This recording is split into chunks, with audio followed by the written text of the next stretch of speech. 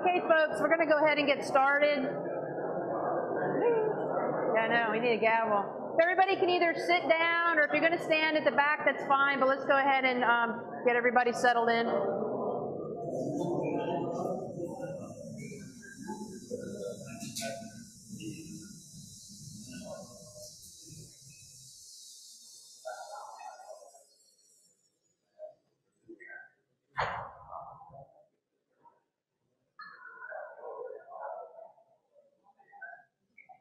Well, I'd like to start off by thanking everybody for coming out tonight and for welcoming you to our um, second Red Drum um, Town Hall. We had our first one Monday night up in Savannah.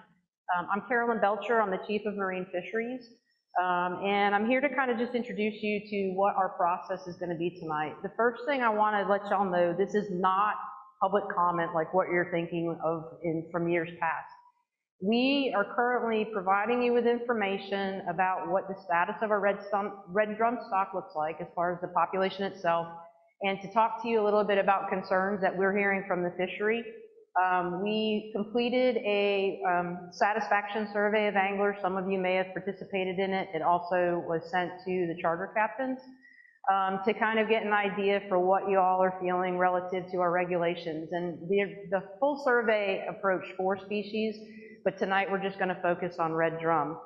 Um, I'd like to start off by asking you all to make sure that your cell phones are silenced um, so that we don't have um, issues with sound quality, because you can tell there's a lot of reverb in the room. We've got folks who are on Zoom, um, so a lot of this just to make sure that we don't have noise issues with across the, the internet and within the room. Um, what we want to do tonight is present to you, again, our biological findings for this stock and talk to you about proposed actions that we have. There are five of them. Uh, you will get two presentations this evening. Jared Flowers, who's our unit leader for the Research and Surveys Group, will talk about the biology of our stock. And Kathy Knowlton, who will be on Zoom, um, will be talking to you about the results of the satisfaction survey.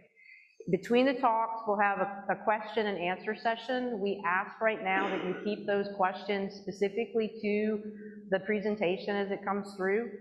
Um, and we'll do our best to answer any questions that you have. Um, and the main thing is, again, just not getting off track. Uh, Kathy will go through the satisfaction survey for you, which will give you more information. We will provide you a comment sheet at the end, which has the proposed actions um, and some alternatives under that or options that you can comment to us what you think about what we're looking at to propose. Um, and then if you have other specific comments you would like to make, you have that option to write on that as well. So each action has a place and there's an overall comment section for you too. Um, so with that, what I'm gonna do is I'm gonna go ahead and talk to Tyler. I have Tyler talk to y'all first for those of you who are in the virtual world so that you know how the Zoom is going to work. Um, and from there, we'll hand it over to Jared. All right, just for everybody, so we're all on the same page here, uh, we're doing this via Zoom, so there are people listening on their phones and their computers. Uh, When it comes time for the question and answer session, there'll be some folks with microphones walking around. We, we ask that you speak into those microphones so that everybody at home that couldn't make it tonight can hear your questions and then hear the answers from our, our folks here at DNR. Um, I appreciate it, and with that, I'm going to turn it over to Jared.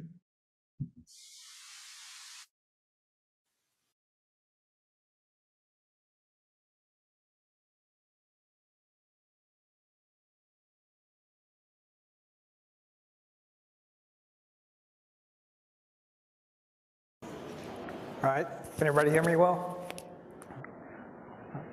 So we're gonna have to manually move slides around, so it'll be a little bit clunky, but um, Tyler, if you can go ahead and bump up the next two. Yes. So tonight I'm gonna talk about um, status for red drum in Georgia, and this is based on data that we have. This is based on information coming from our surveys. Uh, Tyler, next. So within the state, we have different data sources for red drum. Uh, one of them, as you might be familiar with, is MRIP. Uh, this is the Marine Recreational Information Program. This is, a lot of times what you'll see, this, is related to the creel clerks that'll meet you at the dock and, ask you questions about your catch. Uh, this is a federal program that we participate in and cooperators with as a state. We also have six state surveys that focus on or encounter red drum that provide us information And I'll kind of go over data from each one of those, but kind of the moral is that um, each one is designed to kind of look at a different aspect of ridge biology, different life, um, and, and look at a different aspect of um, population levels or fisheries or, or whatnot. So you'll kind of see that as we go through. Thanks.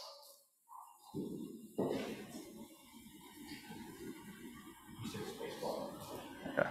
All right, so the data I'm going to talk about today, it goes through the end of 2021. We're still obviously collecting data now. Um, Next. So the first thing I'm going to start out with is talking about MRIP. So as I said, it's the Marine Recreational Information Program. And this is one of our longest time series of data. Uh, for this program, we have data from 1981 to present. And what this chart is, is catch per unit effort and harvest per unit effort of red drum in the state over time. The dark line is. Oh. Is that?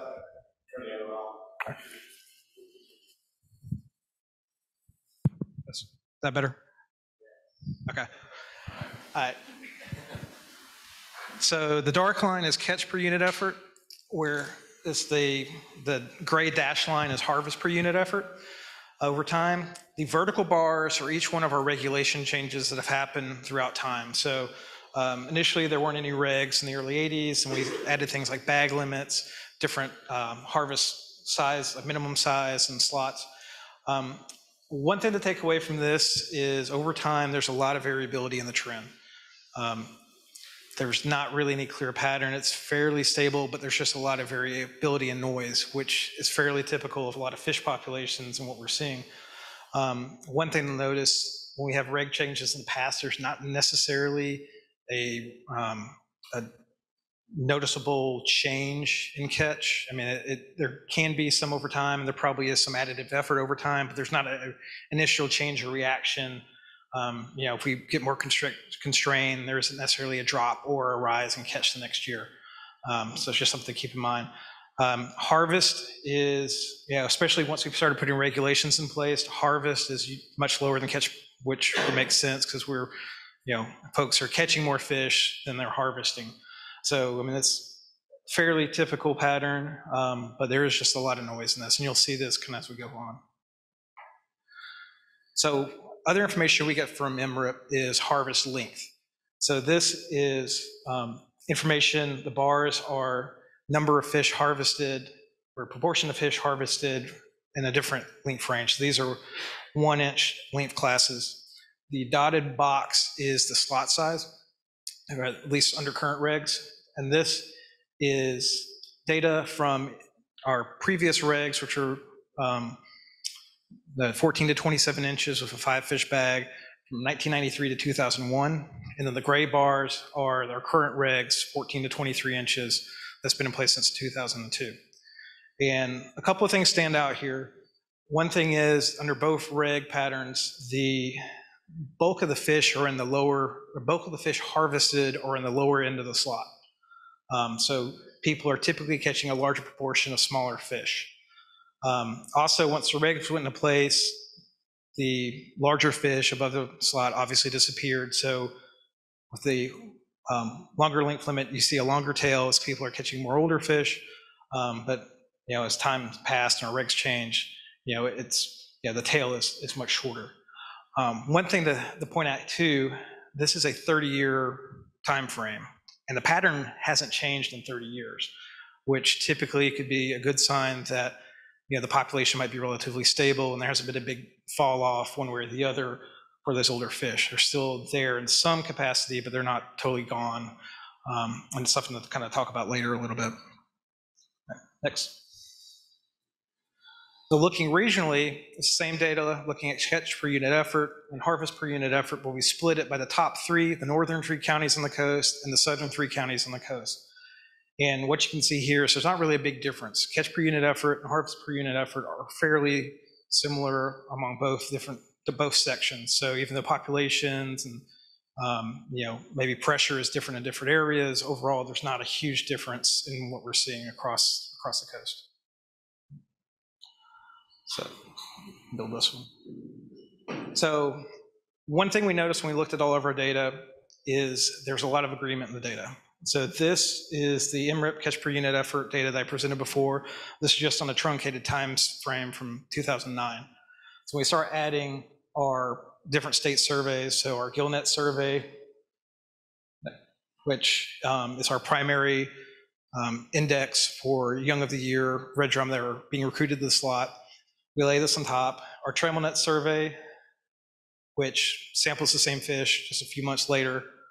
Our coastal longline survey, which, sandal, which samples adult mature fish offshore. And then we have our carcass donations, which is fishery dependent. It's volunteer donations from anglers who are volunteering to donate their carcass at coolers and we process those.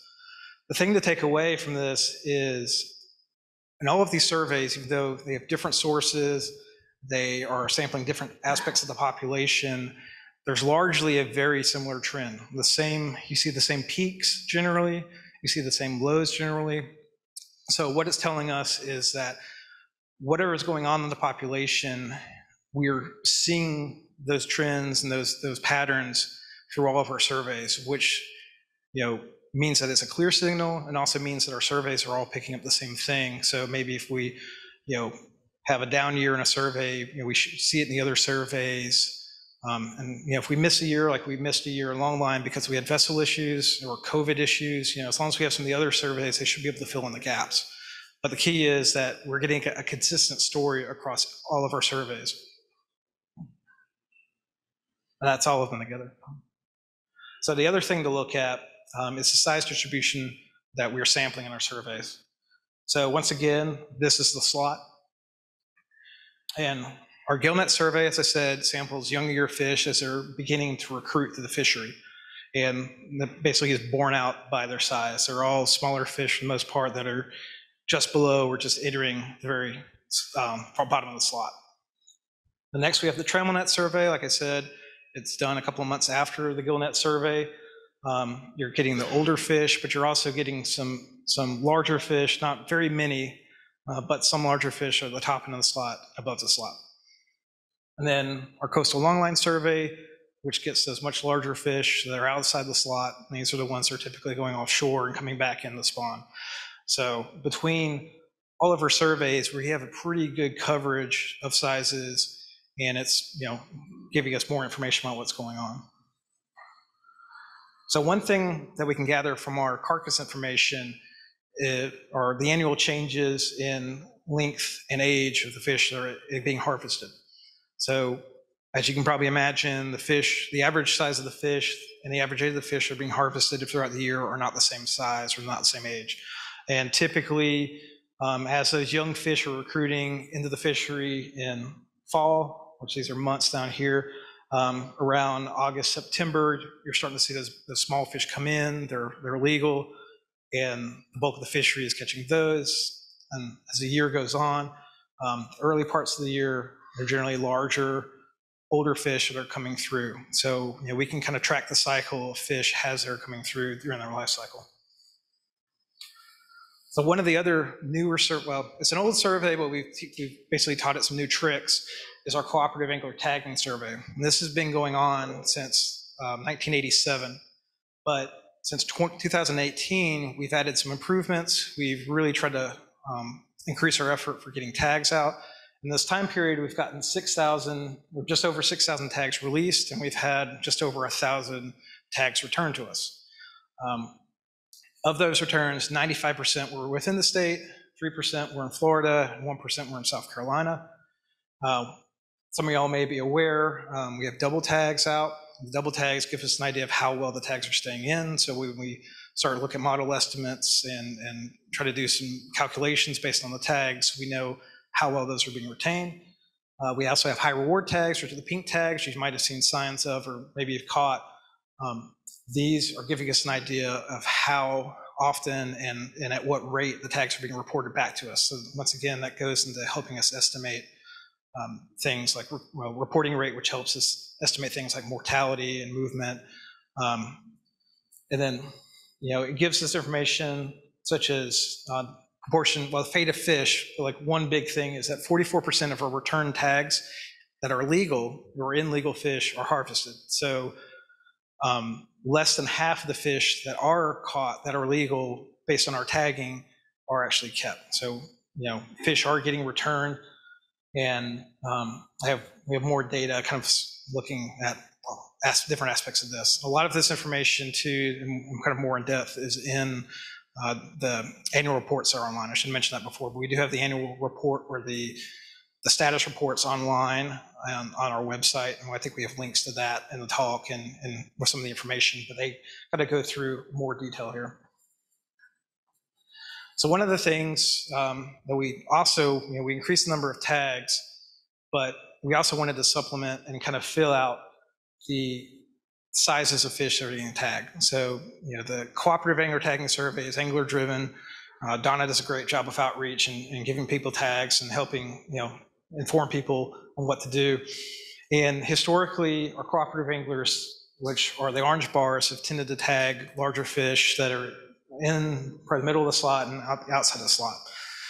To help better inform some of our estimates and figure out what's going on, we put more effort as a staff in the tagging fish in the smaller end of the slot. So between these two efforts, we've been able to cover a better size range of fish, and also um, we've also been able to cover just about every sound and every little creek and river in the in the in the state, which is good. So we have really good coverage between size and area of our tags.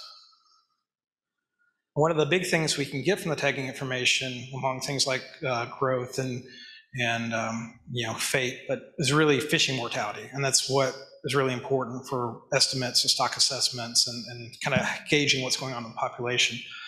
Um, these are fishing mortality estimates from 2017 to 2021. Uh, the highest is 0.1.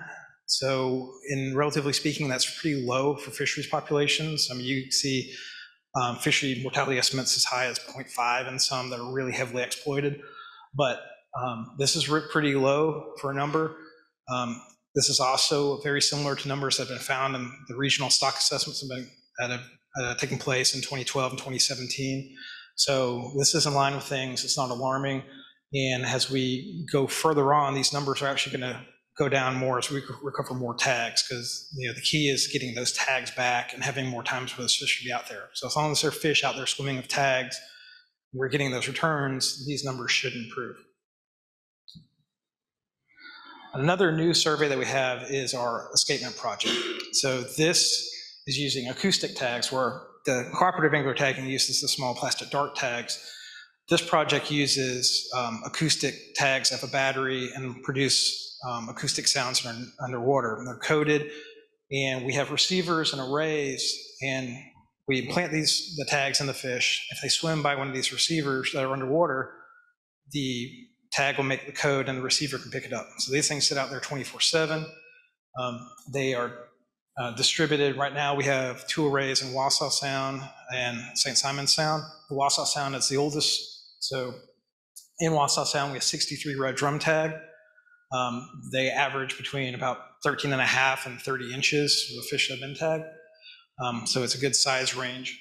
And so far, at the end of 2021, we had 29 fish were detected total of 440,000 times, which you know is a lot.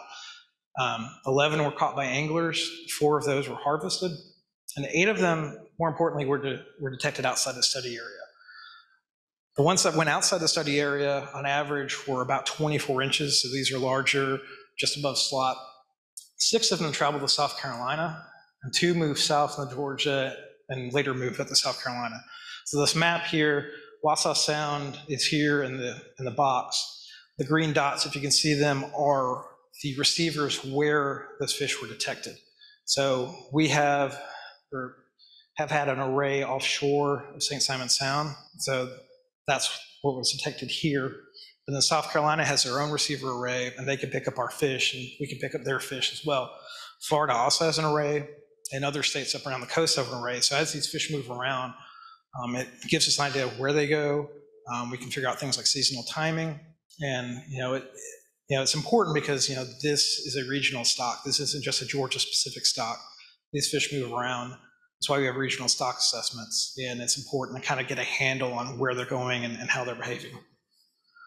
Um, In general, what we've seen so far is not surprising. Smaller fish tend to be more stationary, they tend to stay in the sounds. Larger fish are definitely more mobile, and they're the ones more likely to show up offshore. And we're going to keep tagging, and like I said, we we expanded to St. Simon Sound now, and uh, as we go forward, you know, we have about 100 more tags to put out over the next few years. They, the tags have a four to six year lifespan, so, you know, this is a long-term project that hopefully will pay dividends over time. So for just some kind of discussion and conclusion to wrap stuff up. Um, So our red drum populations are stable over time with a lot of recruitment variability, and this is pretty typical of a lot of long-lived species. You know, red drum will live to 60 years. They can have bad year classes and still sustain a population. If you have a lot of bad year classes, that's a different story, but, but you do have a lot of regional, uh, sorry, annual variability. Um, what we're seeing here is the same patterns they're seeing in regional stock assessments in other states. Um, As far as our surveys, we are seeing the similar trends in the surveys. As I mentioned, you know, with that chart, you know, we have, you know, five or six surveys that have the same pattern, uh, which is good because it kind of tells us, you know, there is something going on. We're not getting conflicting information that's really having us scratch our heads. We have a pretty good feel, uh, when we think of what's going on. And one interesting thing is that it's debatable if other states are seeing it, but our longline survey, which samples as older mature fish, tends to have the same annual pattern as our surveys that are looking at the smaller juvenile fish. And typically, you think a longline survey that's sampling adults would be lagged. So, like if you had a high year for adults, the next year would be high for juveniles, and, and vice versa because spawners and recruits. But we're not quite seeing that. So, it might lend to there's some, something else going on out there um, which you know I think is part of the issue. Environmental region, environmental and regional population dynamics have a lot to do with numbers of fish we see. Um, abundance is, does seem to be cyclic. Um, one interesting thing in the past, we had a low year of 2012. It was one of our record low years. Virginia and Delaware had record high years. So it seemed to indicate that maybe fish might have been, you know, as a, as a population moving up the coast. Um, and could be lending to some, you know, long-term geologic, geographic shift with, you know, possibly changing water temperatures. The other threats to red drum populations that we know are out there and exist, you know, habitat degradation and coastal development, you know, increasing populations, that, that's an issue everywhere. Um, increased overall fishing effort, um, that's one thing that you'll see when we get to our next presentation, that, you know, there is increased effort, and, you know, that's just, you know, an issue. And for us, especially like South Carolina, but it is a regional thing. They're seeing an increased targeting on mature adults. So the bull red fishery is becoming really popular. And even though it's a catch and release fishery, you know, there is release mortality and there are things to worry about there.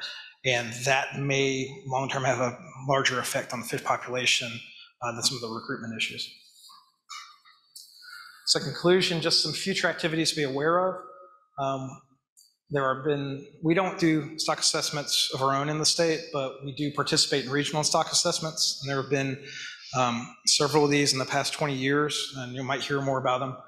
Um, the most recent was in 2017. Um, but earlier this year, we've completed a regional simulation assessment, which is identifying the model that's going to be used in the next benchmark stock assessment. And the benchmark stock assessment should be starting maybe later this year, early next year, but should be completed in 2024. And that's a regional stock assessment between Florida, Georgia, South Carolina, North Carolina, and uh, Virginia, Delaware, and maybe the other states that may encounter fish. But um, we've been involved in these assessments. Uh, CRD data has been used in all the prior assessments, and you know, we're part of that process. So, you know, we get a lot of information there and it definitely, you know, gives an idea of what's going on in the region. It's not just limited to us. So some of that connectivity, you know, really gets explored in these updates.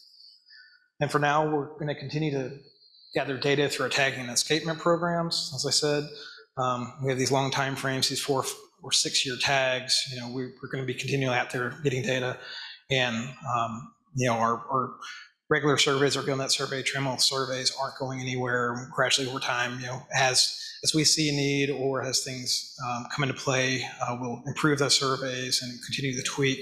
Uh, one thing for GillNet and trammel surveys, we added additional sound system um, in 2017, 2018, 19, sorry, 19. Um, so now we, instead, we were originally just sampling Wassaw and Altamaha Sound, now we're also uh, sampling St. Andrew Sound, so it gives us a good uh, distribution across the state, and and that'll help us see if there are any other regional differences going on. So with that, um, I'll take questions. I do want to point out, if you have uh, additional comments, you know, we'll have the paper to pass around, um, but we also have the thing set up at the website, the town hall, and I believe that's also where um, this presentation, uh, the status report, and the other other presentation are located. So, thank you.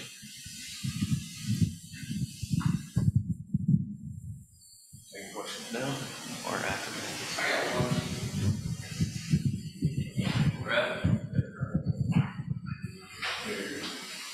Thank you. So. That's a bad spot. So I was at Tuesday's meeting in Savannah and we went through the gill and trammel nets and you're saying that those two methods of sampling, they're a couple of months apart, but those are still focused towards that low or first year class fish. Is that correct? Can you hear me? Um, Yeah, more or less. The gill net is specifically focused on red drum and that- and that recruiting to the, uh, recruiting into the fishery. The trammel net is a bit more, uh, okay. the trammel is a bit more generalized, so um, a gill net goes for three months, right? And then the trammel net follows the next three months. So there's not really a separation, they're just back to back in three months period. Okay, and the long line is focused more on those mature fish, that 27 inches to the, what we consider the bull red? Yeah. So my question is, in Savannah, you said that this fish is complex. It's got a 60-year potential lifespan versus the trout that's, you know, much less. And the statement was that it's supposed to be managed, or it should be managed as three separate fisheries, that first-year class to up the slot, the slot fish, and then up to the mature fish that are sampled in long lines.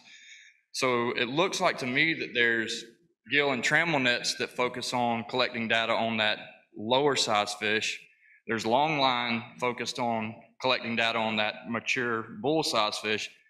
Are there any plans or any methods being explored to look at that mid-sized fish, that I guess what would be the middle age class that y'all say have to be managed? Yeah, um, so it's kind of a two-parter. As far as traditional netting and the long line, it's sometimes tough to get those fish because they're mobile, they're moving, they're offshore. So that's where the tagging has come in. So, you know, because we're putting these tags in, Um, it's getting a different type of data. So we're not getting these index data, but we can, you know, get growth and get mortality. We can get movement from the tags. So that's kind of what we're using as a, you know, to, address that. You know, it's getting at the population as a whole. So it is including smaller fish and larger fish. But, you know, having the tags and those fish and, hopefully having those, those fish that are available to us now grow and grow with our tags and you know, be able to gather information as that happens. You know, that's hopefully filling that gap. So to fill in that, that gap in data, we probably, we would need more of those fish in that 16 to 25 inch class? Is that what? I mean, we're, we're encountering those fish, we're tagging a lot of those fish. Um, I, I think, I mean, really at this point, it's kind of a time issue, just getting enough returns and enough data back in our hands to really start looking at that. Thank you.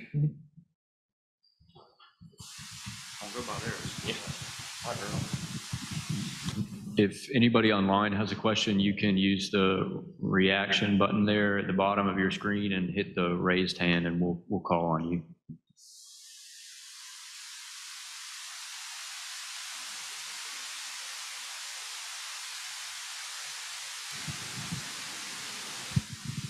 Uh, For your surveys, you, these numbers doesn't seem to add up. It seems like uh, where it says the recruitment was bad in 2012, does it account for we had the worst freeze in 2010 and 11 that probably wiped out that whole recruitment? I don't see how, it seems like weather factors as far as angler pressure, the uh, basically, there's probably a half million new anglers in Georgia, and everybody wants to go catch a redfish and keep it. And there's not, there's nothing in there to offset. There's South Carolina, Florida, Texas, everybody around us supplements stocked fish. And I know some of the South Carolina fish probably come to Georgia to get away from all the fish there.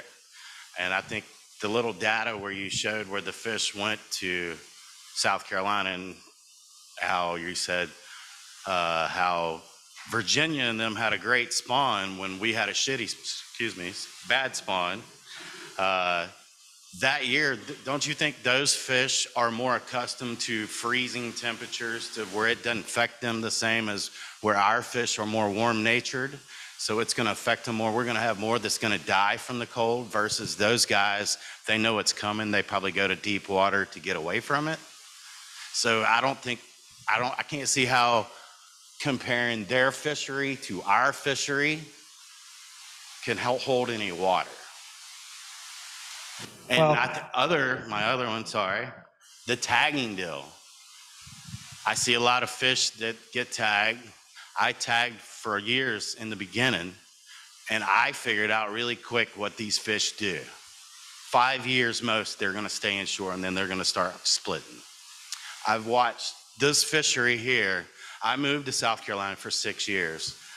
This fishery was great before I left in 2010. I come back and it's a completely different fishery. Flats that I used to fish, there'd be three to 500 fish. You're lucky if you see 20. Where did those fish go? Why aren't they there anymore? Is it is it from pesticide runoffs? Is there what what what factors are we missing that are you guys missing? I mean, the water quality, what is it? I mean, our shrimp's not good. Our there's bad black gill disease. Our crabbing's not good. Isn't all that doesn't all that stuff add up to we have a problem? To you guys? Well, I mean, I think there's a lot in there. I think right now, we will try to, we could try to keep things to questions, directed questions, but I, I'll answer. Um, I mean, yeah, there is a lot going on. There's a lot of variation. But one thing to keep in mind, you know, the fish in Delaware and Virginia might have been the same fish that, been, that were here, but for some seasonal difference, they moved up. They don't have a constant population, but they saw fish. So it's possibly, you know, it, it, it's likely it might be the same regional population that is moving around. Um, but yeah, I mean, a lot of that stuff, you know, we don't know exactly what is going on regionally or environmentally on an annual basis that, you know, affects these numbers. I mean, some of it's natural. There is a lot of natural variation in these long-lived fish. Um, you know, there was a paper in North Carolina recently, wind direction in the fall has a lot to do with um, the strength of year classes. And people don't necessarily think about wind direction, but that could be a thing. It's blowing the larvae in the shore into the marshes. Um, I salinity definitely flows can play a factor, but it might not be salinity at the time of year we think it is. You know, so I mean, there's a lot of, I mean, there's a lot in there. And there's a lot of environmental stuff that may kind of be aggregating to affect it. Um, so, I mean, yeah, good points. And I mean, I think we're here to kind of, you know, gauge, you know, what people think is going on and then possibly look at, you know, do we need to be more conservative about things? All right, um, Mr. Larry, uh, we're going to give you opportunity to unmute yourself and ask your question from Zoom. Uh, Looks like you're unmuted, so go ahead. Um, yes, I was wondering if you could hear me. We can hear you, yes, sir. Um, my question is with all the, um, talk on red drum, I see a lot of people keeping, uh, black drum anymore. Is there any, um, effort by the state of Georgia to look into if black drum are being, um, overfished with restrictions on red drum? I see people keeping black drum all the time, and I was wondering if that species is gonna be included in any, um, data or research. Thank you. Thank you, sir. So we do counter black drum in some of our net surveys. Um, There are regional stock estimates for black drum as well. And, you know, we contribute data to those. And, um, you know, there's, problem is there's not a lot of, uh, there's just not a lot of sampling and a lot of effort going towards black drum uh, regionally. So there, you know, might be some questions there. I don't know if you have anything more. Uh, Right now, ASMFC is completing a, a coast-wide stock assessment. Um, Depending on what the results of that, you know, comes back, uh, I mean, I guess there could be talk, but as of right now, there's no talk. I don't predict that overfishing is occurring or they're overfished right now. Um, Right now, the early indications is that's not happening. And that is a highly migratory fish, so those subadults that we see, um, as they turn into adults, those fish migrate up and down the coast, so they'll be found in the Chesapeake uh, during the warm months, where we see the large fish down here during the cooler months. I believe data from our, which, which one is Trammel or Gillnet? the Trammel, yeah, so data from our Trammel is actually some of the best data, you know, in the region for the assessment. That's one thing we found out. So one of the questions I kind of had, we were talking about maybe highly migratory on these fish. And I'm just asking, so it says 63 red drum tagged in Wassaw Sound. Is that the only place that you put those tags in those fish? For right now, yeah, and that's So kind we've of, only done 63, right? So if at a 63, if only eight were detected outside of our study area, I wouldn't consider that highly migratory. I, I'm just, I mean, that's just my percentage, right? I mean, highly migratory, in my opinion, is like a wahoo or mahi. You know, this is regional at best. So I don't think that if only eight of those 63, and this is just me asking questions, like we need to be worrying about the North Carolina and the Virginia stops as much as what's going on here. I would be more concerned about what South Carolina and Florida are doing, at least in their zone, because they have the northeast zone. Um, with that being said, and I know that these tags are expensive and, and y'all are doing the absolute best you can with what you're working with. Um, I think a lot of the question in regards to these surveys is guys are looking at this and we all know that this can be interpreted a lot of ways. Everybody sees it different. It's kind of like playing the game of telephone, but I think as a census, we all want to be like, okay, what do we need to do to help you? And what do we need to do to make sure that we don't have, uh, and it's not a crash to say, uh, I had to explain this to a lot of guys who were talking about, hey, we, I catch 80 redfish all the time. And then we pull up a picture of their phone where they were just fishing yesterday and it's got one redfish. It's like, yeah, in the fall, you go hit that school in that one hole and you're like, oh yeah, there's so many redfish because you hit it for five days in a row and you load your freezer. There's no problem because that person wants to stock their freezer. You know, what's best for that one person is not best for all. But what I'm getting at is we're, this is kind of very unique. There's a lot of people in this room that you probably never thought would say, hey, I'd like for you to lower the redfish limit. Um, so you've got us here and you've got the guides and people here. What can we do to help you with this data? And also the other thing that we're kind of talk about with all this data, and we do appreciate that is we can have a better stock. It's not about protecting what you're losing. It's about how good could this be? I mean, you know, the statistics on Georgia Salt Marsh, how much we have. We should have way better fishing than what we have right now. The fact that Glynn County is basically a third of Santa Savannah, but we have almost the same amount of fishermen, that's a big alarm. And I know you mentioned that one of them, that that's a pressure y'all are starting to recognize. Um, but that's something I just wanted to talk about with this survey is we want to be involved. We don't want to be on the outside when we're on the inside. So that's kind of, if you'll ask about the how migratory. that'd be great. yeah, no, I, I appreciate that. And, and one thing to keep in mind, and I didn't have all the detail in, but we are tagging kind of two different groups of fish in that study, and one is a lower end slot fish. And what's the breakdown? It's like 20, 40? It's, So the other thing to keep in mind with that is, I that, there's a, there's a lag, oh, sorry. There's a lag between when those fish are tagged and when that data is received by us.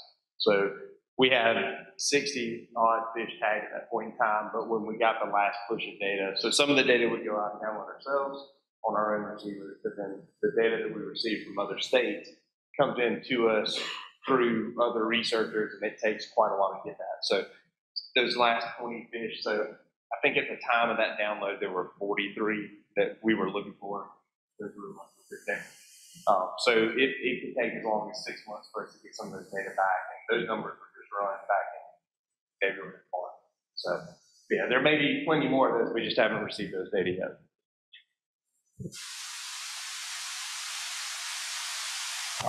what we're seeing too, I mean, they're about 24 inches. That's about a three to four year old fish. It's not necessarily a five year old fish. So, you know, as the smaller fish grow through, Um, you know, we can see them go offshore and get a better estimate of how many because right now it's small, but we're also kind of early on. So, you know, as we expand.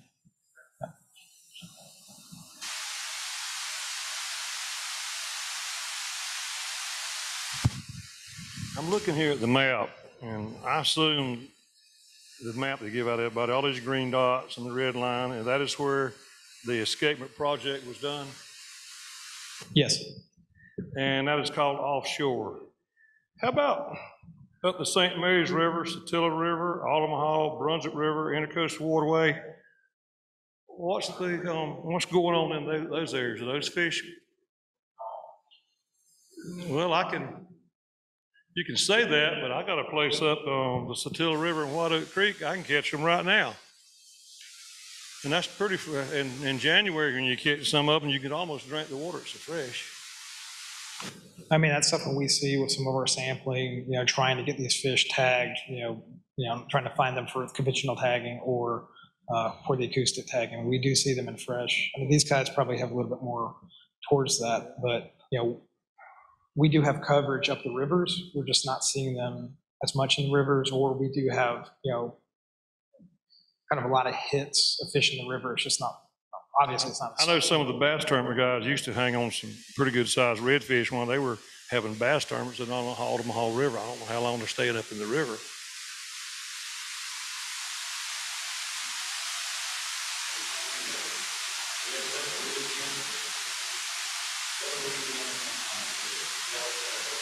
I saw, I saw a program on,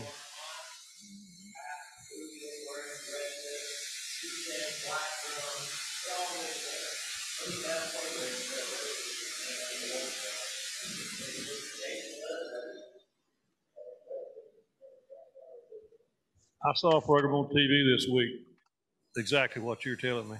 Okay, so for now, can we just um, keep it relative to uh, just questions and answers? Because we'll eventually, at the end, we'll kind of have a time to have more comment, and then we can have lots of the sheets. I just want to keep this moving along. Hey, thanks again for, for you guys doing this. I was in Savannah as well on Tuesday. Just want to kind of reiterate one more thing. So you've got these fish that have acoustic tags in them, 64. My question for you is, out of the 400 What? and I thought there'd be like six people there. Jesus, standing room only. hi. Uh, We're just going to remind everybody at home, please uh, mute yourself. We'd appreciate that. And, and this might, and this might be a little bit of a question for Chris as well, though. But so on these 64 fish that we've tagged up towards Savannah, um, I know a few of them have gone out of state and everything, but we had 440,000 pings off of those 60, call it 58 fish. How localized are those pings to where you guys are are putting these acoustic tags in them? I mean, are these fish? This is another thing about migration. Like, yeah, okay, I get lost every now and then too if I don't have you know my navigation on and I'm somewhere I don't know where I'm at and I may make a wrong turn. And some of these fish may do that. Um, but I think we've all learned from the tagging program that we've done with Donna. I mean, I've had fish caught, you know, a year later, 50 feet from where I released them. Um, to, to the gentleman's point about going up in a creek and catching them, I, I think that a lot of the survey stuff you're showing with that that high catch rate in that lower slot to bring up what we talked about in Savannah are a lot of these fish maybe not making it from that 14, 15, 16 inch up to that 19, 20, 22, 24. Um, so curious, just, I mean, is it very localized? Yeah, and, Chris is seeing kind of the same thing you saw, you know, smaller fish would tend to local, tend to be localized, so, you know, there are a lot of fish that get caught or get detected in one spot. And they'll go back and they're just sitting there for months on end to the point where we're thinking, no, it's the fish dies, the tag just sitting on the bottom, but then it'll move. And we have, you know, we'll locate it outside the state or outside, you know, some other at sound where it's obvious it's a live fish. So they definitely are, you know, the smaller sizes, you know, very, you know, uh, territorial or very localized. And then, you know, at some point, and, that, and that's kind of what the, this project's getting at too, is at what point do they move from being those small localized fish to those, you know, bigger offshore fish? Yeah, what age? Yeah. I would, t- Right, uh, we got one question online from uh, Mr. Brooks Schoen. uh, I've asked you to unmute yourself, and then uh, you have the floor, sir. Can you hear me? Yes, sir, we can hear you. Well, Thank you. Um, just wanted to comment on the first gentleman that was uh, making his comment concerning the number of Red redfish, and I just wanted him to know that, um, uh, redfish is Sir, diminishing. Mr. Schoen, uh, we're- it sounds like you're a little muffled. Maybe um, you can maybe speak a little away from your phone, maybe? Okay, is that any better? Yes, sir. Um, just wanted him to be aware, and I'm sure he is, that, um, I tell you what, Mr. Schoen, would you mind sending a, a- a chat comment to us? It's, we're having some problems hearing you. Would you mind typing your, your question to us in a chat message?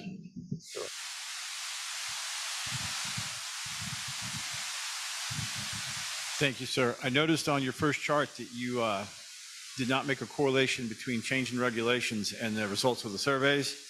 Did you make any effort to uh, capture data on enforcement of in regulations with regard to changes in the population survey?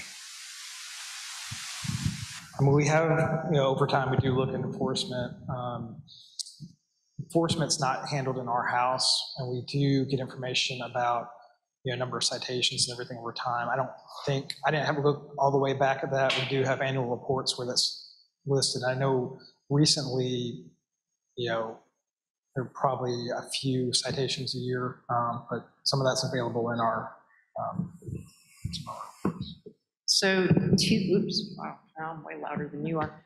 Um, We've worked with law enforcement as part of um, our requirements for our compliance reports to the Atlantic States Commission. We have to report on enforcement.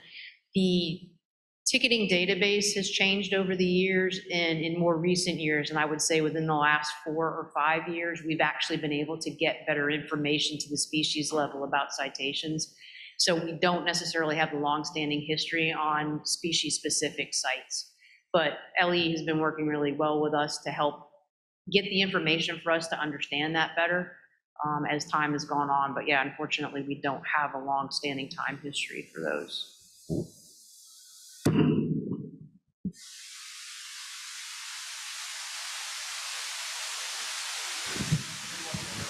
I think we'll move on. So uh, I was a fishing guide for about a, a decade here, but even before I was a fishing guide, we'd go out trout fishing, not targeting redfish whatsoever, mainly trying to catch trout. Rod doubles down, drag gets pulled off the reel. You go, ah, it's one of those big reds. Fast forward 10 years, you go, that's a shark. Doesn't even cross your mind the possibility that that could be a redfish. To me, that's the canary in the coal mine. Not do I have a spot that I can go find redfish, because I'm sure a lot of us do. We can go crawl up a creek or we can find that one shell bed where there is a population of redfish. But how many incidental or accidental catches of redfish do we see now compared to 10 years ago? And the fact is, just not as many. I'm not saying that I know everything, I'm just saying I did spend 200 days a year for 10 years on the water observing this. I also wonder what's the, the limit on redfish in North Florida? Is it two? What about South Carolina? What about Louisiana? Why do we think we're Louisiana? Because we're not. And then whether it's the fish moved up to Delaware, or it's overfishing, or it's environmental, or it's cyclical, um, we can agree that something's happened, something's changed. We've worked on our trout, we've worked on our flounder, we've worked on various other species. Why are we fighting this one species so hard? When it seems like we can all agree that something shifted. I mean, I think we're here tonight because we're not fighting, because we're giving information and, you know, we're opening the, the door to conversation because we're seeing something. We hear your concerns through through the, um, you know, I mean, just from hearing conversations, not the English satisfaction survey, which Kathy's about to talk about. So we recognize there's something going on. Um, you know, it, it's tough to compare us to other states because, you know, we've talked with folks in South Carolina, we've talked with folks in Florida. There is a difference between our states, even though, um, you know, we are, you know, side by side. Florida has a lot of habitat, a lot more coastal growth issues. You know, we have some of the best protected marshes on the East Coast, you know, so we are different in some ways. Now, what that actually means, I don't know. And I think that's, you know, what we're trying to get a handle on and, and you know, between pressure and population. Um, you know, South Carolina has a lot heavier fishing pressure on some aspects. I mean, they have think their number was 300 guides fishing bull reds in Charleston Harbor. That's more guides than we have in the entire state here. So they have, South Carolina has a limited stocking program, but it's not fully, um, I guess kind of experimental.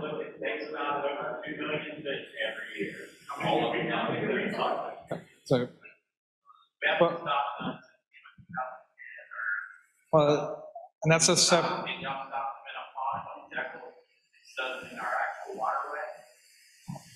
mean, that's a separate issue. I, I wasn't here then, but I, I think, I think we can move on to the satisfaction survey. We can bring this up afterwards with the, the whole conversation. Yeah. Uh, Now I'm handing off to Kathy online. All right, Kathy, are you ready? Oh, um, we had uh, a comment from Mr. Schoen. He sent it in, Jared. uh, Reduction in smaller, uh, reduction in smaller fishes due to allowing 14, 15, 16 inch fish are being killed and the larger fish are not showing availability because they have been killed, is what he's saying. All right, at this time, we're going to turn it over to Kathy Knowlton. Uh, She's going to be presenting here uh, via Zoom. Uh, Kathy, you've got the floor. Hello, can you guys hear me okay?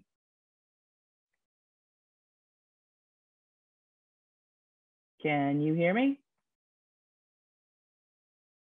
I hear you, Kathy.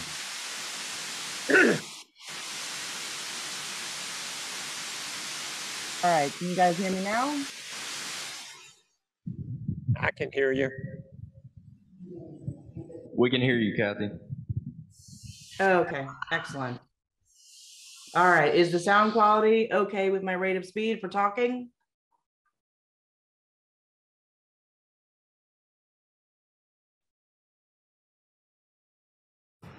We can hear you. Okay, excellent. All right, great. Thank you so much. I'm sorry, I'm very sorry that I couldn't be there with all of you tonight. I'm feeling a bit under the weather and I figured you didn't want me to bring my cough and uh, sore throat into a room packed with people. But I'm very excited to see um, that many people in the room and I hope we can continue this great conversation based on the results of the saltwater fishing satisfaction survey. Bear with me. There we go. All right. So the first thing to note is that as we go through the results of the most recent survey that was conducted, you're going to see a pattern where responses from anglers are in green and responses from guides are in blue.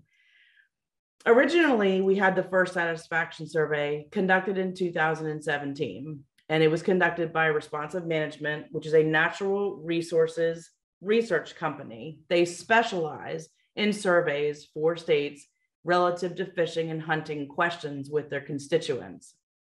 We were able to again contract with them five years later for the recent survey that enco- encompassed fishing during 2021. The majority of the questions were the same between the two surveys, and that is very important because it allows us to compare the answers between the two surveys. In terms of the questions that were asked and how anglers were selected, resident anglers were randomly selected from those holding SIP permits, the Saltwater Information Program permit. There's about 230,000 annually. When anglers were randomly selected and offered an invitation to participate, they could do so either by telephone and or online. Very important is that there was an initial screener question. Everybody was asked first, did you participate in saltwater fishing in Georgia during 2021? If they did not participate in saltwater fishing during 2021, that was the end of the survey for them. They were no longer answering questions for the rest of the survey. Far more sample was selected than was needed to provide accurate results. At the end of the process, 2026 completed interviews make up this study. Those completed interviews represent saltwater anglers from 144 of our 159 Georgia counties. And they also, 45% of the interviews represent residents in the 11 coastal counties, that being the six coastal and the next tier in of five uh, near coast counties. Another one of the components that we'll talk a little bit about tonight is breaking the data into two different groups. Obviously, we analyze the data based on responses of all of the anglers that were surveyed. But we also broke down the analysis into two different groups. Those responses from the coastal residents and non-coastal residents. We also separated and were able to look at the data based on what we call avidity. That's how often somebody fishes. Since we asked all the participating anglers to tell us approximately how many days they participated in red drum fishing in 2021, we were then able to partition the data into what we term an avid angler, one that fishes more than 10 days in a year, and a less avid angler, one that fishes 10 or fewer days in a year. The sampling for the guides was very different. Obviously, with over 230,000 licensed saltwater anglers a year in Georgia, we are not able to sample every single angler. That's how the guides are different. It is a much smaller population with only 194 licensed resident saltwater guides. Every single one of them was invited to participate. They were contacted by both email from the company, emails from me, and telephone calls. And they were contacted repeatedly through both of those methods. At the end of the sampling period, 55% had chosen to complete the interviews. I'm going to do a check here, Tyler, just to make sure that you all can hear me okay. Yep, we can hear you fine. Great, thank you. So one of the questions we obviously get a lot is, was 2026 completed interviews enough? How do you know what's enough? And like I told you on the previous slide, far more anglers were invited to participate to ensure that the minimum sample size was achieved. Quick little couple of points here from the world of statistics. The overall population that we needed to survey was those anglers holding a SIP permit. So we can calculate how many surveys, that is the sample size, that we needed to be 95% confident that the responses fall within a specified range of the actual value in the population. That may not sound uh, very clear at the beginning, but we'll go through a couple of examples. People very commonly say things like, I'm 90% certain of something, or I'm 95% certain of something. Well, a 95% confidence is a standard in statistics and in survey responses. So imagine that 100 times random samples of anglers having SIP permits were selected.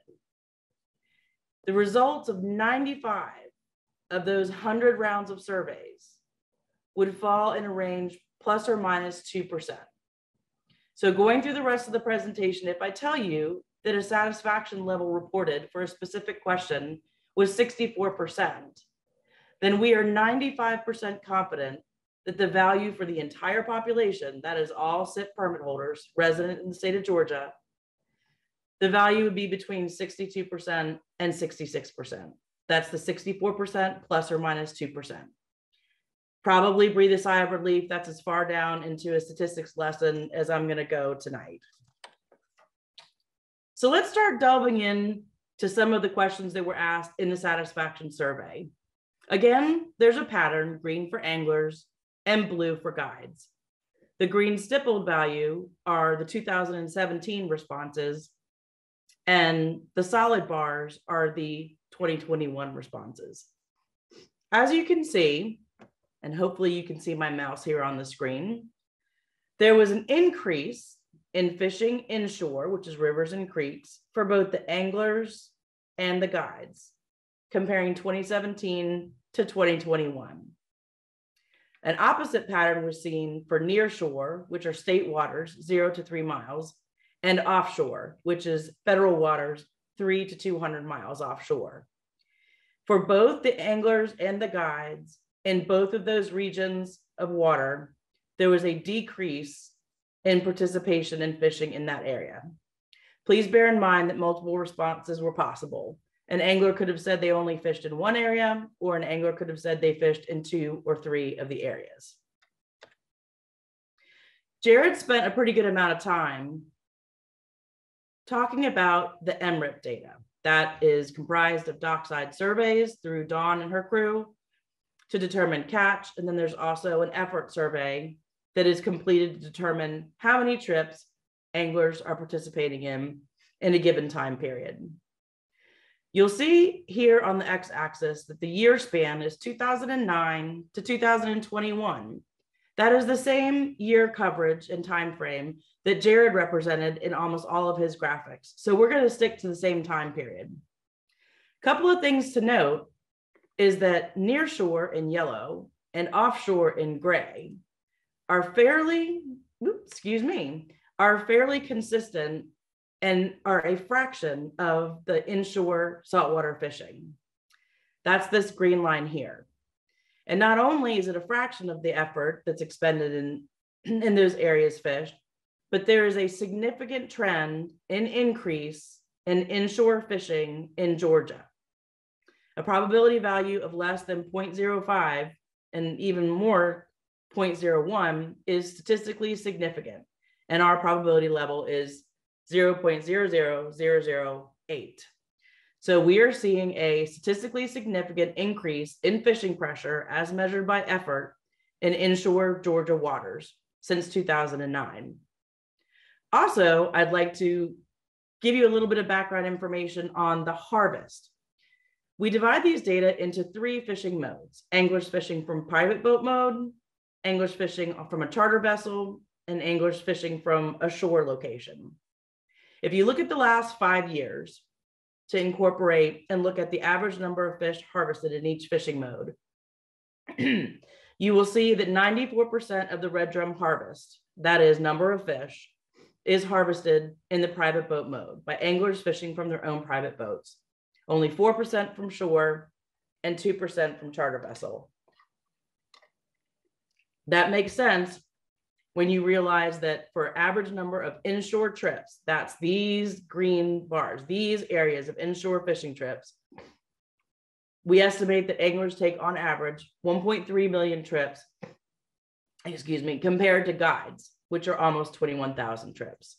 So that's some background MRIP catch and effort data to give us a parameter for this discussion. Back to the satisfaction survey results. Again, anglers in green, guides in blue. We asked them if they typically fished for red drum. For those that indicated that they did not fish for red drum, that was the end of the survey for that section of species. We also asked about spotted sea trout, flounder, and sheepshead. For the purposes of this discussion tonight, however, we're going to stick just to the red drum data. As you can see, anglers were fairly consistent in the percent of time that they fished for red drum. There was also a slight increase in their reporting to us the average number of days that they fished for red drum in the last 12 months during 2021. The story was a little bit different for the guides. You can see an almost 10% increase in their response for whether they typically fish for red drum. And they also had an almost two week increase on average in the number of days that they took clients fishing for red drum. There is a lot of data on this slide, and I'm going to walk you through it. But there are some overall, like 30,000 foot level points that I wanted to make sure that you were able to see all on one slide. And also at the end of this presentation, you'll get a one page summary that has these graphics on it as well to take with you. We asked anglers and guides, are you satisfied or dissatisfied with red drum fishing? We asked that question for four different categories red drum fishing in general, the number of red drum caught, the average size of red drum caught, and their satisfaction or dissatisfaction with current regulations. So the anglers here in green, the yellow represents dissatisfied, and the stripes represent no preference. So as you can see, across all four of the satisfaction questions, there is decreased satisfaction among anglers for all four criteria. If you take the difference between this value, this value, this value, and this value and average it, that's where you get that decrease of 10% of the anglers that are less satisfied with red drum fishing in 2021 compared to 2017. If you do the same comparison over here on the right for the same responses to questions on the guides, the decrease in satisfaction is even more pronounced. Again, fishing in general for red drum, number of red drum caught, average size of red drum caught, and current regulations. Something interesting and not unexpected is that the number of captains that had no preference for their satisfaction level was much smaller than when that question was asked of anglers. Again, if you take the average of each of these categories, you see that the, across the board, there was on average a 21% decrease in satisfaction level among guides fishing for red drum.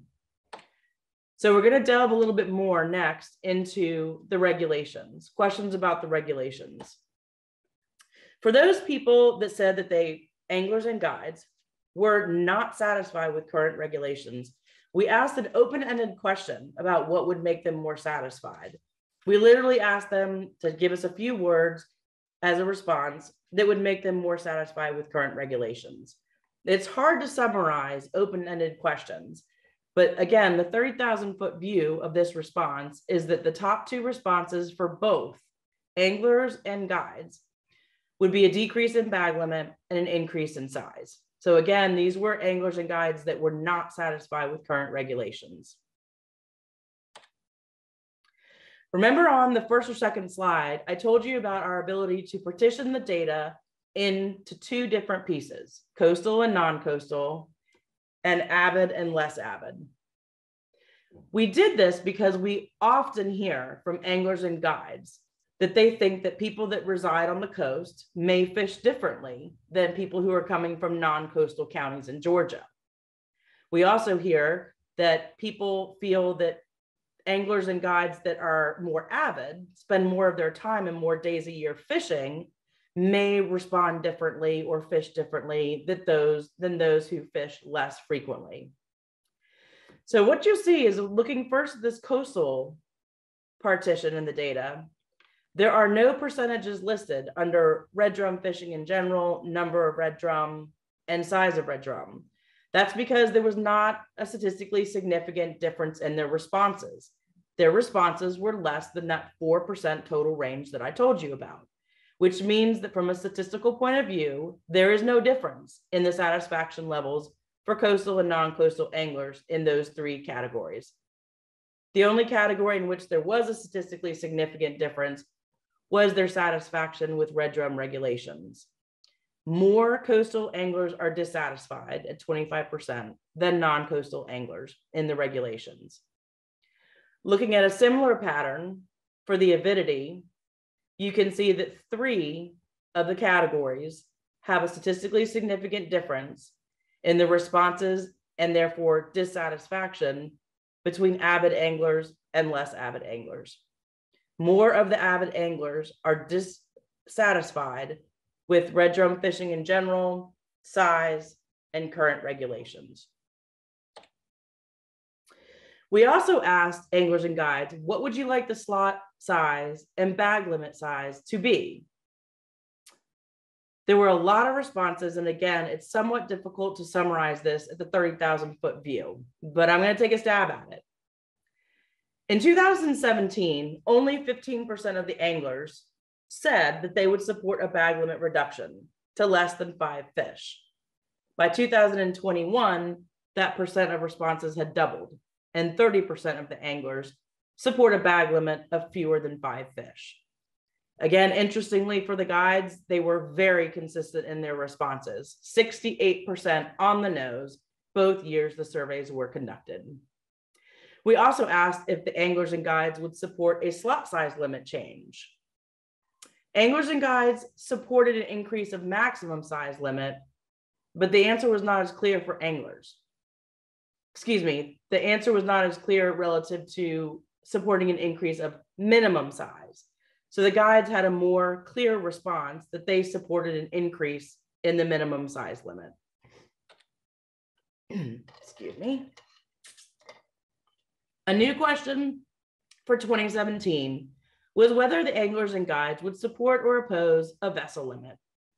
You can see in that graphic that 20%, which is in yellow, only 20% of the anglers indicated they would oppose a vessel limit.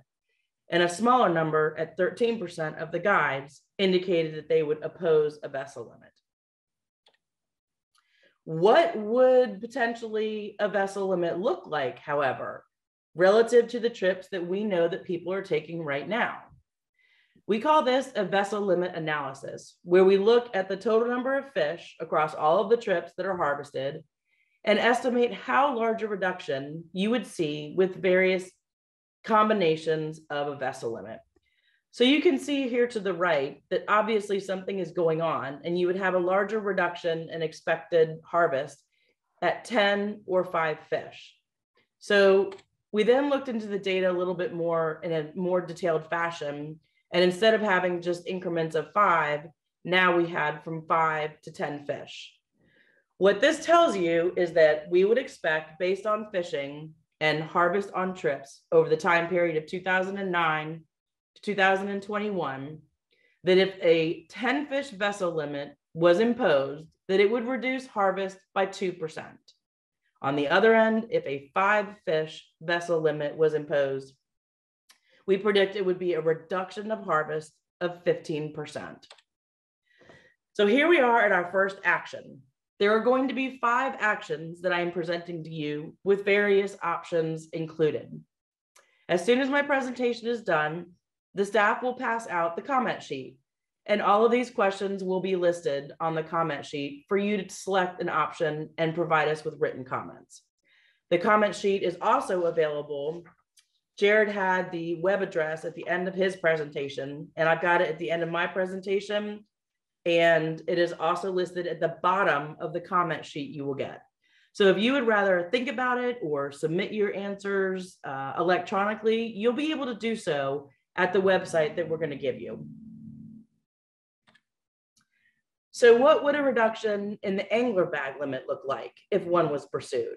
Again, you see a negative number because it's the reduction estimated in harvest. So for 2009 to 2021, those trips indicate to us, based on the harvest obtained during the, that time, that a reduction to a four fish angler bag would reduce harvest by an estimated 5%. And then you can see the values for three, two, and one fish, with an angler bag limit of one fish expected to reduce red drum harvest by 43%. This graphic here on the bottom the bars to the right are the same values as what you see in the table on top. What's different is we're often asked for the seasonal impact of harvest because we all know there are more trips in the fall for um, seeking to harvest red drum and more red drum are in fact harvested during the fall. So you can see that since the majority of the harvest is in two fish and one fish, that the seasonal impact is going to be larger for those potential reductions in angler bag limit.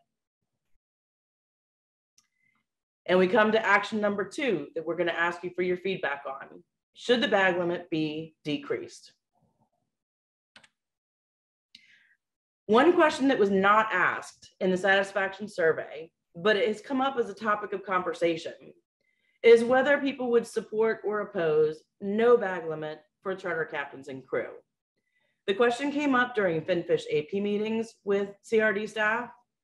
The comments have been made during previous meetings from additional charter captains that are not on the FinFish AP. And also we see that Florida has proposed in May of this year a statewide change such that captain and crew are prohibited from retaining the bag limit. So action three on the comment sheet is going to be asking for your feedback of whether captains and mates should retain a bag limit, should continue to retain a bag limit.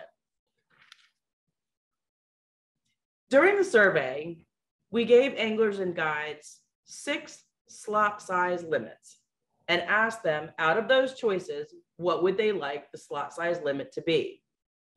There was one change from 2017 to 2021, and that was the addition of a category for other.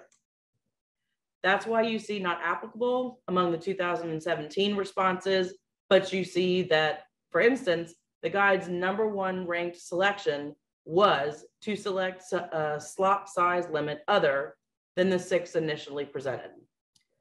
For the anglers, their responses were fairly consistent from 2017 to 2021. Back in 2017, the highest ranked choice was 14 to 25 inches. The second highest ranked choice was the current regulations of 14 to 23. In 2021, you'll see that two choices were ranked evenly, they tied. Therefore, there's not a rank of two, and that is indicated by the asterisk. The guide's responses varied between the years. And you can see that initially their number one response was 15 to 23. But in 2021, they gave options for other slot size limits than the six presented. The second highest ranked was 15 to 25 inches. The third highest ranked response was the current regulations. Action four will be should the slot size limit be changed? Option A would be status quo, option B would be yes, and we'll ask you to please give us a comment on what you think that slot size limit should be. This table to the right is given to you as an example of what various slot size limits and bag limit combinations do in terms of achieving our management goals. The last time a stock assessment was done, which required a change in regulations by the South Atlantic states for red drum, was in 2002. The two more recent stock assessments did not require a change in regulations by the states for the regional management. And remember that we're underway with another stock assessment right now. So these data are very dated, being from 2002, and we expect that these percentages would have changed by now. The only reason I'm including them is to give you that example on what changes as you have various combinations. Our management goal is to have a 40% or greater spawning potential ratio. That's the SPR. When this analysis was done, those bag and slot size limit combinations that did not achieve the 40% SPR were not available to the states to consider. So you can see how with all of these combinations above 40%, you can see how at the time in 2002, 14 to 23 with a bag of five was an acceptable combination. You'll also see that as you increase the upper size limit, in this example, it was only by one inch, that has pretty significant implications on the acceptable bag that you can use going forward. Only one or two fish had the selection been made for the higher slot size limit, slot size limit, sorry. Also wanted to point out to you that when you increase the lower size from 14 to 15, it makes very little difference in the percentage of the SPR, which again is our management goal for the region. You can see that at 15 to 23, it was acceptable and achieved 40% SPR for five fish. But same story is over here. If you raised the upper slot limit by an inch, only one or two fish in the bag would have been acceptable at that time. For the stock assessment that is currently ongoing, that Jared mentioned, we have asked for a terms of reference to be completed and have this table updated so that we have information moving forward that is much more updated and relevant to now. And we'll be getting that information in the future when that stock assessment is completed. And finally, the last is would you support or oppose a season for red drum? We got a resounding opposition to this question from both anglers and guides, with about 55% of anglers and about 60% of guides across both year spans. But we also wanted to ask you your opinions since you're attending these town hall meetings. So the last question is should there be a red drum season? And again, option B, if you think there should, please tell us what season you think should be considered. You can see here for reference the regulations in the other South Atlantic states, and in particular, this 2022 change for captain, no captain and crew bag limit, and also to reduce the vessel limit to four, down from eight to four. And that's for the Northeast Florida region. So here we are with the next steps. We presented the results of Jared's Red Drum summary of the research that we currently have to the FinFish Advisory Panel on June 1st, as well as the results of the satisfaction survey. We're here at our town hall. Here's the web address where you can submit your comments electronically. If we make the decision to make a possible regulatory recommendation to the board, that would happen in August. And by the board, I mean the Georgia DNR board. The Georgia DNR board has authority for red drum regulations. We would then go back out to official public hearing and comments in September. And were we to make a final recommendation to the DNR board for a possible rule action, that would occur in October with the January 2023 implementation. I hope you guys are all still there and I will be delighted to questions.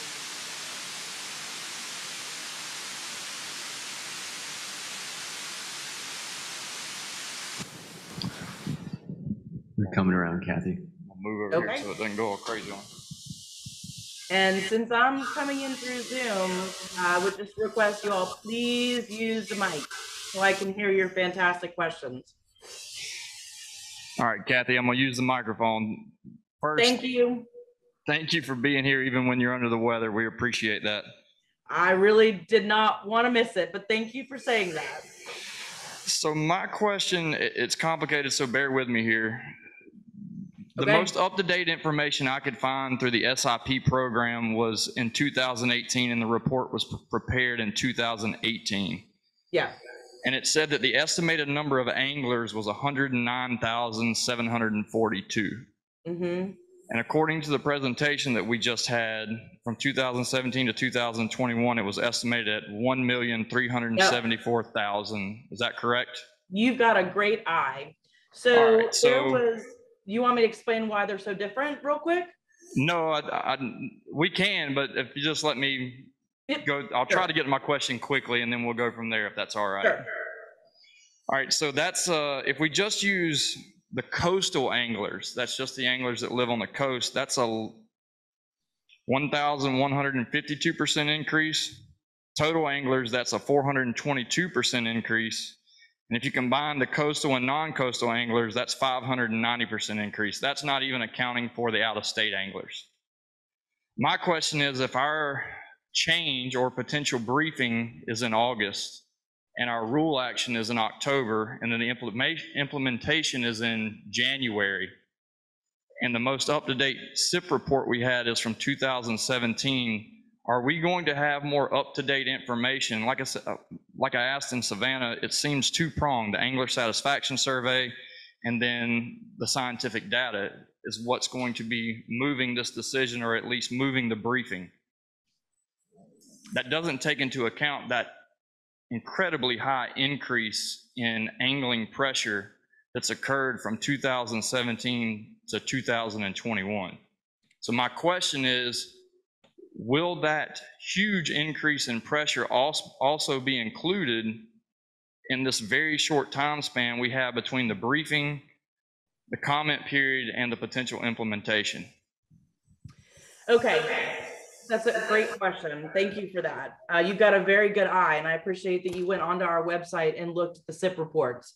Those have not been updated in the last few years because there was a change in methodology used to calculate effort estimates.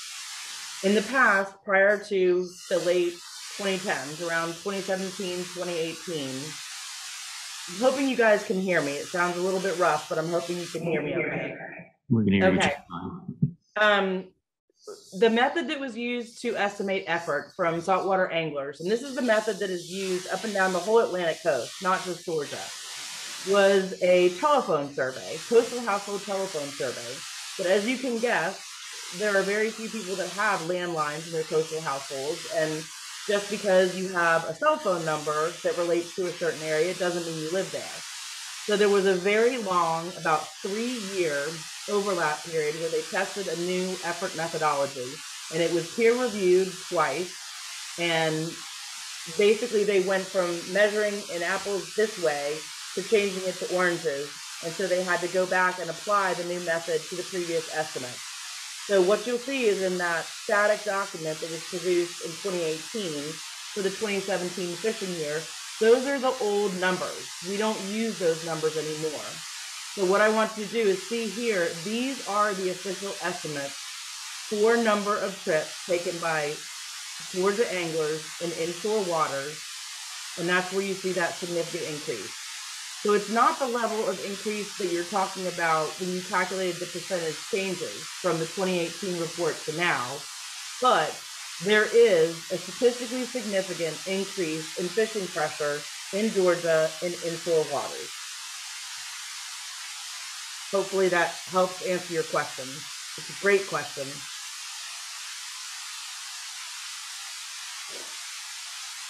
Just a reminder to anybody online, if you have a question, um, you can use the reaction thing at the bottom to um, raise your hand and we will call on you.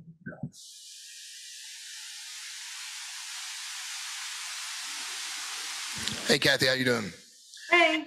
So I'm gonna bring up two things and, and I think it's kind of, one of them's gonna be the elephant in the room for this survey and I just really want your feeling on it. But first I was gonna tell you, so today I ran into two guys from Macon that are at St. Simons or Morningstar Marina. They fish about, I don't know, once a month. They inshore fish every time. I ran into them and I always ask them, how'd you do? And the guy goes, man, it was amazing. I caught two redfish today. And I was like, really? And he goes, yeah. And I said, well, how many did you catch last time? Oh, we didn't catch any last time. I was like, okay. I was like, hey, are y'all coming to the meeting tonight? And they're like, what meeting? Blah, blah, blah. And uh, they didn't know about it. And I said, well, did you do the survey? Yeah, we did.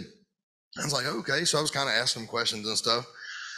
So as guys from Macon and versus maybe some guys from the coast, I'm thinking like, okay, these guys are stoked that they caught two redfish and they filled out this survey, right? And then I'm looking at, and I could be wrong, if we have 230,000 SIP permits, right, versus the state, and we sample 2,000, that's less than 1%.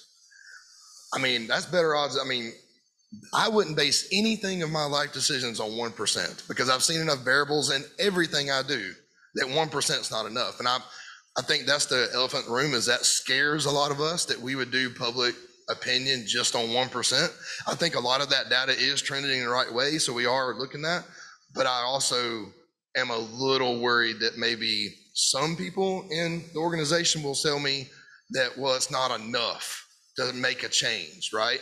That's the really scary thing. I talked to one person, DNR, I'm not to, you know, call him out, but he told me I have public opinion and science. So I've seen both of those tonight on the screen, right? But how much do I got to have to sway this person to make this change happen? That's my biggest fear. And I think that's one that we're all really like, okay, we're doing all this, but does it got to be 50%? Does it got to be 20%? Where does it have to be? And we all know that I don't need a guy from Helen that trout fishes telling me how many redfish I need to keep because he came down to the coast and fished off the pier one time. And, and that's when we only sample 2,000 people, we don't know how many people are in that zone. You know what I mean? So that's my point I'd hope you address. I would be delighted to address that point, and that's why I went back. Hopefully, you all can see it. The slide to um, the basics of the statistics of this. Statistics is not understanding statistics, and when I throw out terms like statistically significant, that's not necessarily very comfortable for most people. It's hard to wrap your head around it. People are inherently very comfortable with a survey and that's that's how we did the portion with the guides because there were only 190 some of them, and it was feasible to do so. It's not feasible to try to survey all 230 resident SIP permit holders um, annually from the year. So we have to subsample. We absolutely have to subsample. And statistical analysis and how you calculate the confidence interval, which is basically that same phrase as me saying I'm 95% confident. This is a science, and this is a something that the company that the Mm-hmm. responsive management contractor who did the survey, they've been doing these for 33 years. They're the best in the country.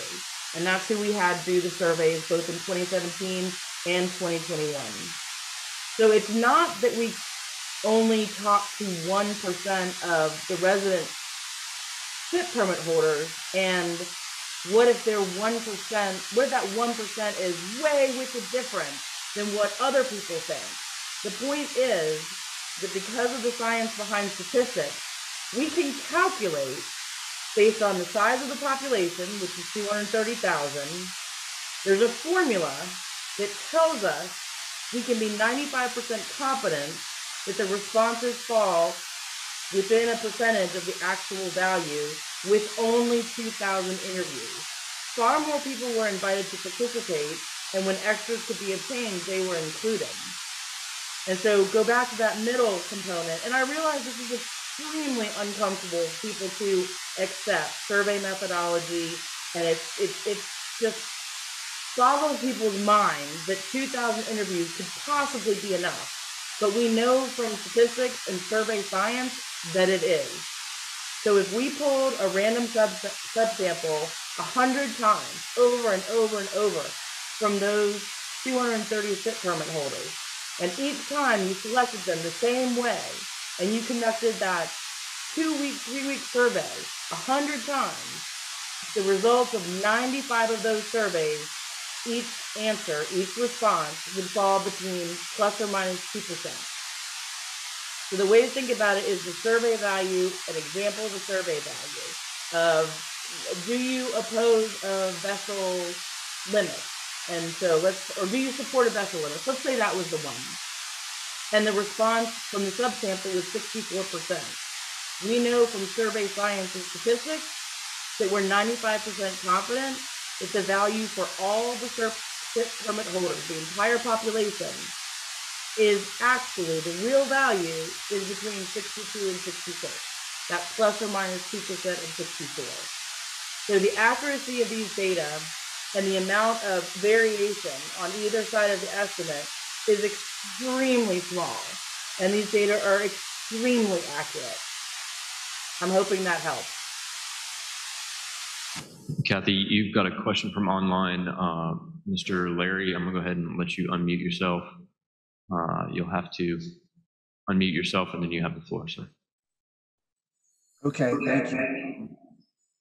My question is, with talking about the um, boat uh, vessel limits, is that just for being discussed for red drum, or is that just going to be something that's applied to all species that um, have a limit, or is that just a, a red drum specific um, discussion that we should uh, comment on?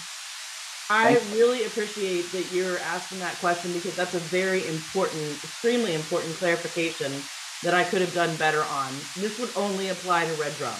That's it.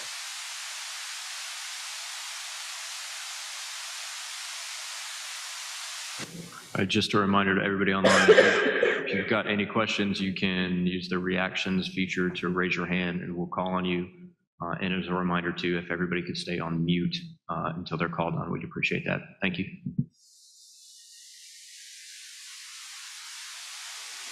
Uh, Ronnie Gaskins, Georgia Hunting and Fishing Federation. Sitting here and listening tonight, a few things uh, stuck out to me was if I'm saw in the first presentation, you know, out of the, the tag fish and only 44% of them were taken by, were harvested. Then, then we move to this survey and we see where our, our number of fishermen is, is tremendously higher than, than it was 10 years ago. And we're, we're certainly selling a lot more fishing licenses now than we did 10 years ago, which brings in a lot more funds for the, for the biologist and the DNR to work with. Um, my, my opinion is there, there's still enough fish out there to make people want to buy a license, buy a boat, spend money, uh, five and six dollar gas to come fishing.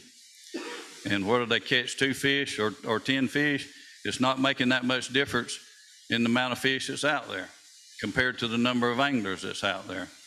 And I see no reason to be monkeying with it because uh, you go to changing something, you, you, you can cause a lot, lot more further problems. If we, we run all these fishermen off, it's going to be hard to get them back. Hmm. Well, I appreciate you talking. I appreciate you talking about um, the component of releasing legal fish. Jared had that percentage in his presentation, and this was something that I had at the end in case the question came up. And so we did ask anglers if they release legal red drum? And if so, what percent of the time? So you can see that guides and anglers release all or nearly all of their legal size red drum about 25% of the time. And you can also see that more anglers are unlikely to release any legal size red drum than those anglers that are fishing on charter boats with the guide. And we also look at when anglers said they released the red drum, we asked them why, which is an important question and has to do with some of the discussion tonight. For those that released legal red drum, the largest percentage of them said they did it because they practice catch and release.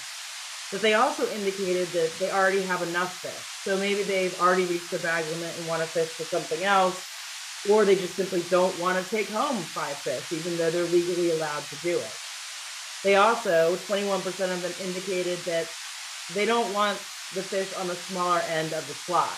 They want a few larger fish at the upper end of the slot. So I appreciate your comments that you don't think that we should change things. And that is one of the reasons that we've given these presentations and that you will receive, if you haven't already, sorry, I can't see in the room, the paper comment sheet that you can either fill out tonight or you can do it electronically. And the deadline for doing those electronically is two weeks from tomorrow. And so one of the interesting things about a sampling survey, like the satisfaction survey, is that we feel very confident that the results of that survey represent the population of resident Georgia saltwater anglers. When we have things like these town halls, and later if we pursue a recommended, recommended change,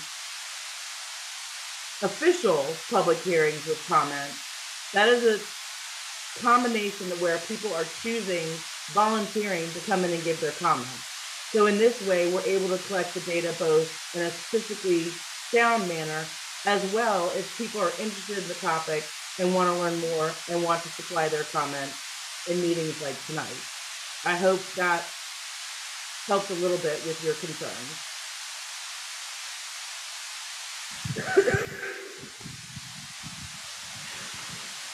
Yes, my name is Captain Wendell Harper, and uh, I've been on the, I've been on the committee for quite a while, ever since I started. And I'm a charter captain here in Georgia. And uh, I've been doing it since the seventies all the way through. And I've seen a drastic decrease in our fishery, in redfish and trout. I mean, we, we're talking about redfish. But, uh, and the Altamaha, they can tell you, they can show you a thing that says it's got an increase this year. It was. But the increase is lower than the lowest part of the whole 10 years. So that tells you we got a problem. When I can't go out there and catch, uh, I'm not letting my people keep the three fish right now. I've been doing it for the last two years, just three fish. And I can't catch six fish for two people. We got a problem. Because I'm used to catching five fish per person for four fish, four people, 20, 25 fish on the boat. You can't see it no more. I can, I can do it, but if I want to do it, I'm gonna go into one spot and hit that spot for about three days, and then it's over with. It's over with. So that's the reason why we're trying to keep our fishery at a sustainable fishery, at a good fishery for my grandchildren, your grandchildren, and everyone else. We want, we want our fishery to build up and be able to have a sustained fishery for all of our fish. And that's, that's just what we're trying to do, just help our fishery out, where everybody can come in and catch a mess of fish. Thank you. Well, Wendell, thank you for that. One area in which um, this kind of shows what you're talking about is that we've had a fried fish bag since 2002. And I realize that there, with the annual recruitment changing or with um, skilled angler or maybe like somebody else said habitat issue changes, it's highly variable for this fish because they're so long lived and they recruit into the fishery when they're only one and two years old. They haven't reached um, reproductive levels yet. They're immature. And so I often have people, we hear people say, well, it's five fish. I want to be able to keep five fish. And then we went back and looked at the data. And without a bag change, very few people are catching typically three and four fish. Going down to three fish bag would be expected to reduce harvest by eleven percent. But what that would do is have more of a limit on when people encounter those pools of just barely bigger than young of the year and starting to get into the slot, the number of fish that could be harvested at that point, if that makes any sense. Hey Kathy, I got a question for you. Hey, Uh, more like a, a homework assignment. So excellent. Salt Strong, if you're familiar with that, they're just posted this thing. They have 30,000 redfish they bought privately from Mote Laboratory. So I'm always about like, what's the solution here? I know in this room, we could have a fundraiser and raise $40,000. I'm sure Savannah could probably double that. What does it cost us per fish if we buy fish from an individual company to do stocking? I'd like to find that out because that'd be something that we could do if we could get the permit to release them and through accredited lab, let's find a dollar amount and let's see what we can do there. Because that's something we need to do regardless of changing any of these limits. Um, and then second, like, do we have any data on what it would cost for us to start doing our own hatchery? And that's, that's pretty much it. Okay, so back more than 10 years ago, we had a pilot project called the Peach State Red. And it was designed to be a um, valid approach to looking into that very same question that you're asking. And we collaborated with um, South Carolina DNR to use their hatchery. We took our brood fish up there um, and they were released in a couple areas. And then we looked at the contribution that those stock fish made to the harvest, and it was extremely small. And when you look at the amount of money that was needed to build our own hatchery, let alone keep it up with personnel and the cost per fish in terms of how many fish that would increase to the fishery was very cost prohibitive. Um, one of the we all know that money is a limiting factor as much as we don't like it, uh, as much as we really don't like it. Um, so one of the things that we can do right now, very hard to make changes in water quality or the amount of people moving here or from the bottom up build a huge stocking program. What we have been able to do with money that we've recently received, the price of licenses was increased for both recreational and commercial licenses a few years ago. And that money goes into a very specific account that we have to follow and present information, summary information on what those projects are used for. And one of the ways in which those uh, extra funds were used was to add a third sound system to the netting projects. And that's where I think on year three or four, Jared, Ryan, Chris maybe could talk more to that. But the amount of money that would need to be spent for the contribution of stocked fish to the population is very cost prohibitive.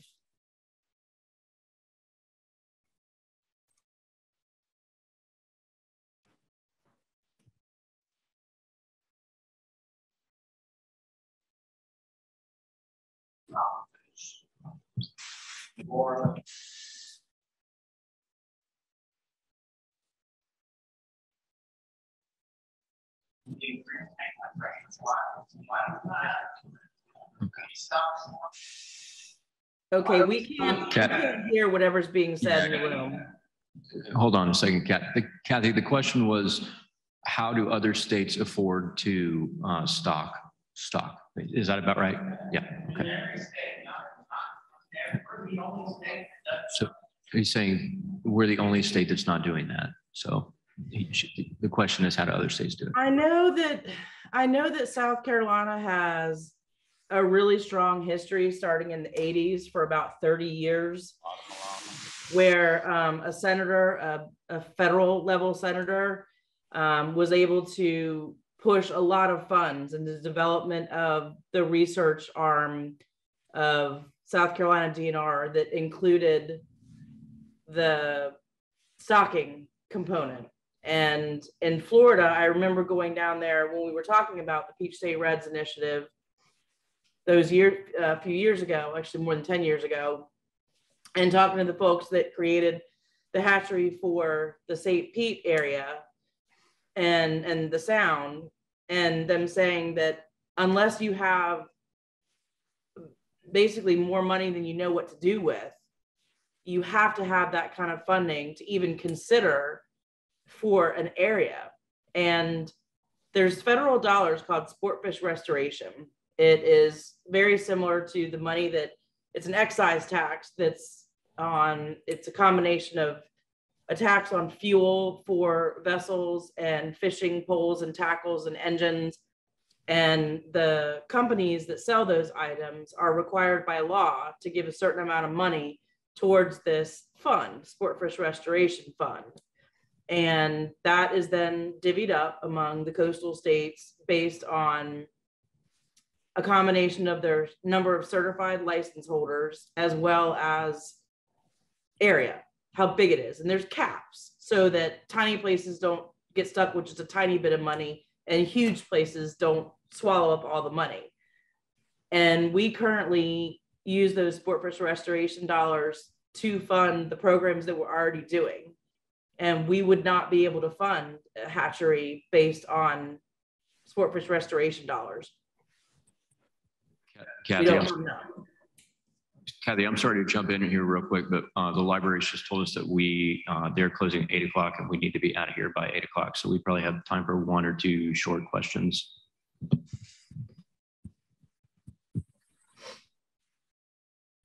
Hey Kathy, how are you?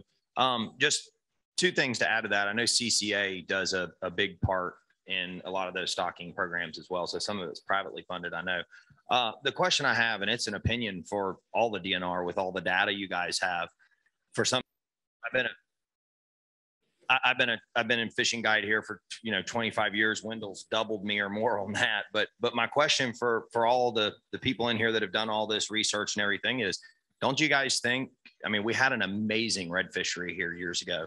Don't you guys think just with some proper management and some changes that that we could possibly because of the pressure? I mean, obviously there's a lot more people fishing now. Don't you guys think we could see a fishery like we had in the past? I mean, we've had our up and down years. I think we can all agree it's it's it's, it's pretty down right now.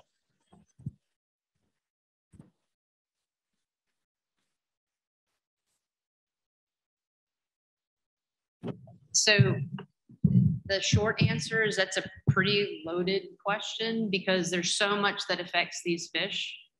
Um, there's more that we- we're focusing on, as you've all indicated. We've got environmental changes. We're not really sure how that's affecting it. Um, how that affects your recruitment, how that all fe- feeds upline into what's going on with the population overall. Um, it's as far as the discussions on the management that again that's why we're all here tonight if you were asking us as science people to focus on what we normally focus on which is a stock assessment based on our opinions there isn't a problem with the stock biologically so let me just say this but what we are hearing is that the fishermen and the people who are on the water are telling us there are issues that's why we're in the room, we're discussing and we're talking to you all to find out what are things that we can do and what the impacts are to help with those issues that are going on in the fishery as, as you're seeing it. Um, so again, we're, we're not saying based, based on science alone, the door isn't shut. Um, we, we have options. We've given you five that we're willing to talk about and see where we can go to from here.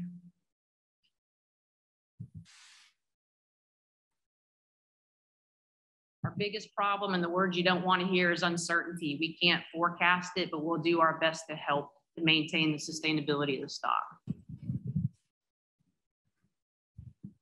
Carolyn, what is the best escapement plan for these fish as far as size limit? I mean, I know at fourteen to twenty-three in Georgia at five fish, how many supposedly matures enough to make it to the ocean? So that's the problem is we don't really have an understanding of the number for escapement. The SPR is actually a proxy for escapement. So we need, based on the life history of the fish, 40% is the ratio that we aim for. Um, what we're, one thing that we can say, which it's for discussion with the public comment as well, slot limits right now because of the age of the data and what we're showing you there was back when we were making those decisions in 2002 we had to look for 40% stock assessments those numbers can change. Because um, if you look at the size range for florida when we looked at this table for the size range that currently exists it wasn't making 40% so as the population changes over time things rebound those numbers can change. Um, so we really need to have an updated slot limit analysis done, which is again back to what Kathy indicated. When the management board talks about what they want to see come out of the stock assessment. We will be requesting that Doug and Spud, who is on that management board, asked specifically that that slot limit get done. We just don't feel comfortable doing it right now because that, that data is aged. Gotcha.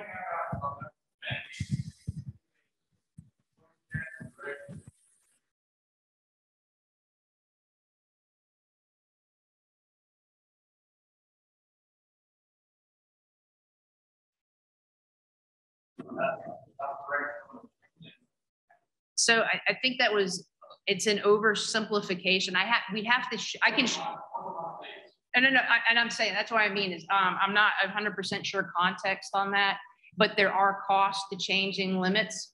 Um, again, Florida has one benefit to ours is the fact that their data is strong enough to support a state-specific stock assessment. We don't have the ability to do one of those complex models. So that's why we're trying to work with the data that we have at hand. And again, trying to use information from y'all to help guide us forward. Um, and like I said, when we get to the next stage, we can definitely talk about options. These actions that we've proposed are five that we're willing to look at. We can do none, we can do all, we can do some, but we want input from you all to help us guide what are those things that you would like to see done.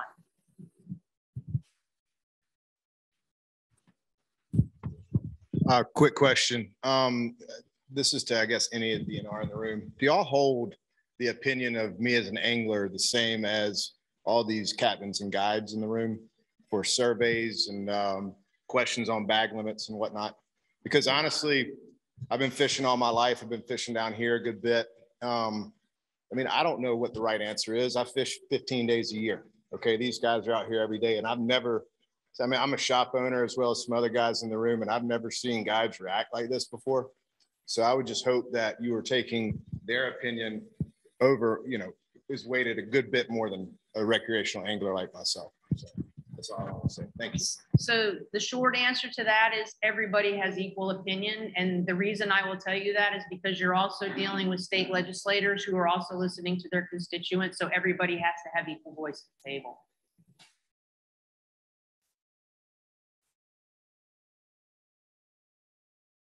All right, we got one more online question, Mr. Larry. I'm gonna give you a chance to unmute yourself and um, you, you can ask your question, sir. Um, yes, I just had two quick questions. Um, are you entertaining any circle hook possible regulations um, in using live bait? And does the legislature have to be involved in any changing of the uh, limits on, on red drum? I know there's some restrictions imposed by state law, and I was wondering if they have to be involved in this in any way also. Thank you. Thank you, sir. I can take this one if you want. Sure, go ahead, Kath. Okay. Um, so there's been a lot of conversation both at the state level and at the federal level through the council about requirements for um, circle hooks with live bait.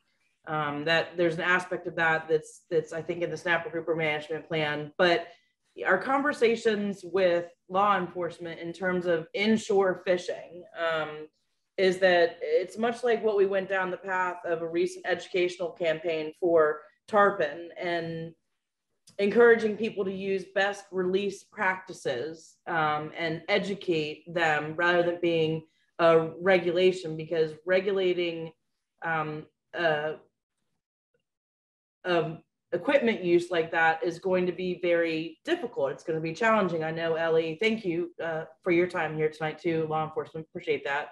Um, it, it's a challenge in terms of what are you, what are you targeting? And, and if you're out there bull red fishing, you know, it becomes not as easy a combination as you would think in terms of, oh, we'll just, we'll just regulate that.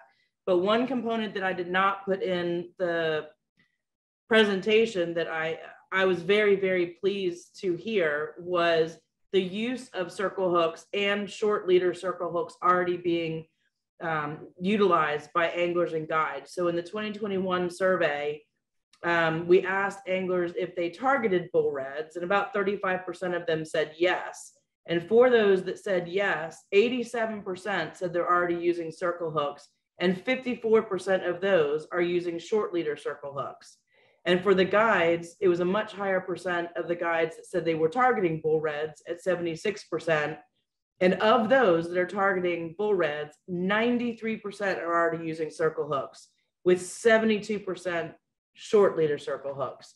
So I think personally, I really like the option of making it about education and best release practices and um, going down that pathway and then your question about would the legislators be involved?